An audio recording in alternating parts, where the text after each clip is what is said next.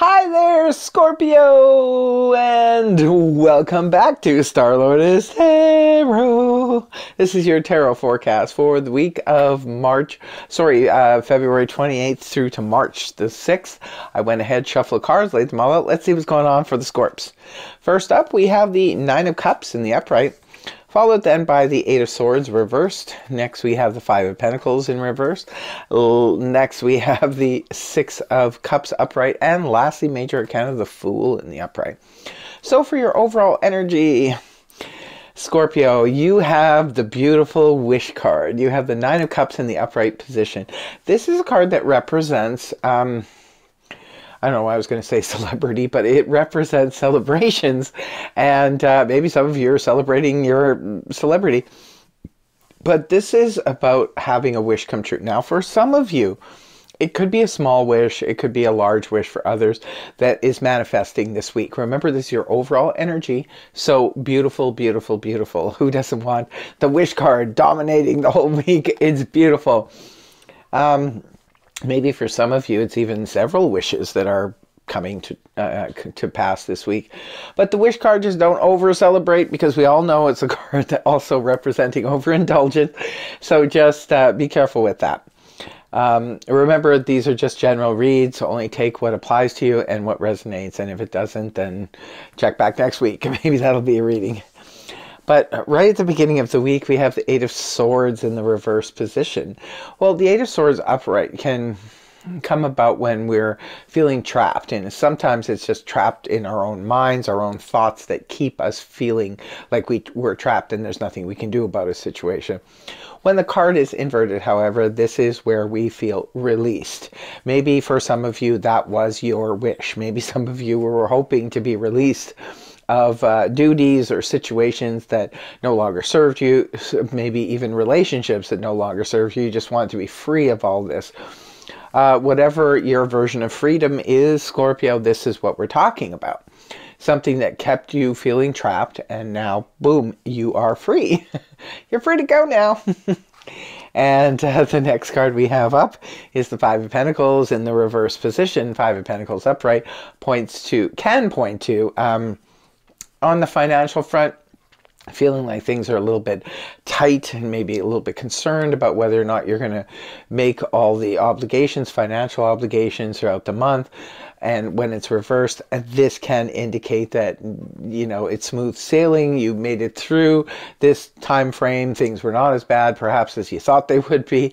Can point back to the Four of Pentacles in the upright position which is a card that represents, um, you know, putting everything financially in a neat little package. It can come up when, say, for example, you have scattering debts through credit cards, and then you put it all together in one manageable loan and now you have that monthly payment to go through. Or sometimes you need to start putting money aside to save for something save for a trip save for a wedding save for there's many reasons why you would be saving so um, there's that, but the, the Five of Pentacles in the upright can also point to feeling abandoned, being abandoned by others, or we abandon them. And this could be a return of someone or some people that you have abandoned. You could see them returning this week.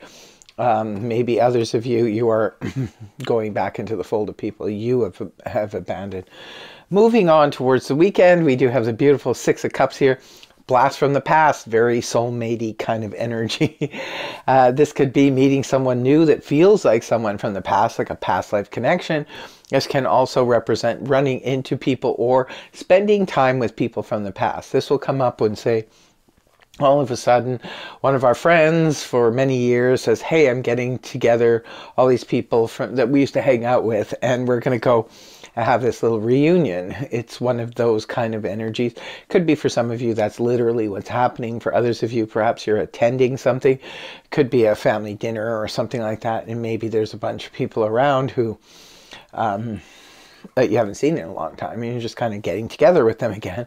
For others of you, this could be reconnecting with someone from the past, someone who feels like a soulmate, someone you've always had that connection with, but perhaps the timing wasn't right before and now the timing is right, hence the wish card, right? Could be that, wow, I can't believe we're both single at the same time. Could be that situation for some of you. Reminiscing, uh, just maybe even for some of you, you're just getting a call from somebody you haven't talked to in a long time and remembering the past very fondly. And then the last card you have is the beautiful Fool in the upright position. Well, you're ready to take a chance again. It's interesting when this comes up with this card because this is like you know, soulmate from the past returns and I'm ready to, you know, jump off a cliff. No, I'm ready to now take that, you know, leap of faith and maybe go into this relationship or take it seriously or that kind of thing.